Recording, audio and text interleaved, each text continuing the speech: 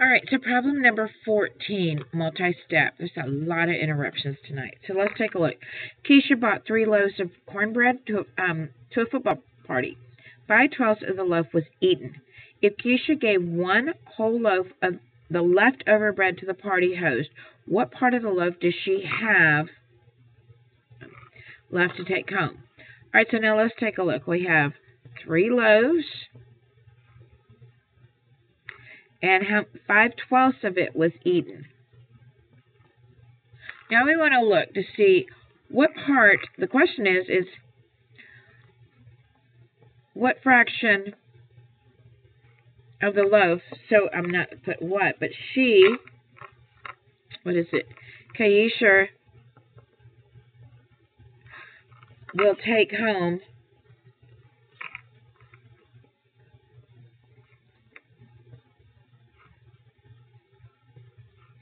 blank of the cornbread.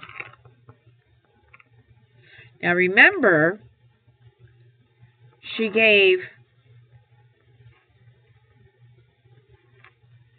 one loaf to the host. Okay? All right, my pencil is running out. I'm like running out of everything here. All right, so now if she ate, if the, the party they ate, five twelfths of each loaf was eaten. So I can draw that into a picture, or I can also do my problem. So um, in my multiplication problem, it'll be 5 twelfths times the three loaves equals, I'm going to put this over 1. Um, but this is eaten part. So if this is eaten, how much is not eaten? So we could figure this out and then do the difference. Or if 5 twelfths was eaten, what was, I'm going to write eaten here, what is not eaten? So I'm going to take the difference. What's 12 minus 5? It'll be, I'm going to put not eaten. It'll be 7 twelfths times 3. And I'm going to show you how you could do this and then just take the difference of that. So this would be 21 over 12. 12 goes into 21 one time.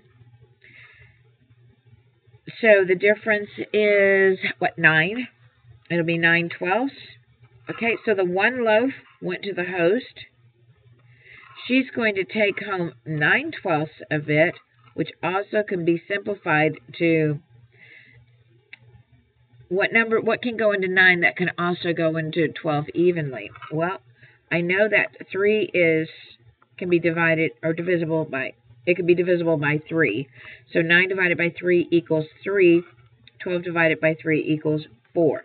So she's going to take home 3 fourths of that, of the uneaten loaf. If you did it the part for the eaten part, you have to make sure that you're labeling so you know. Here you have 15 over 12. That's going to be 1, and there's a 3 that's different, 12. So it will be 1, simplify 1, 3 goes into 3 one time, 3 goes into 12 four times, so it's 1 and 1 fourth. If I added 1, so what would be the difference? I had to get 1 fourth minus what will give me, um, so 1 fourth plus, not minus, but 1 fourth plus what will give me 4 fourths, so it'll be 3 fourths. So I can do it this way. This is the eaten part. We are looking for the uneaten. And so one loaf goes to the host, one goes, and then the three she takes three fourths home. To do it in a picture, you're going to have one loaf, and I'm going to make this 1, 2, 3, 4, 5, 6, 7, 8, 9, 10, 11, 12. So I'm going to draw this out here. 1, 2, 3, 4, 5, 6, 7, 8, 9, 10, 11, 12. Do it this way. Just so that we can see it. So there's one loaf. I'm going to separate the two loaves.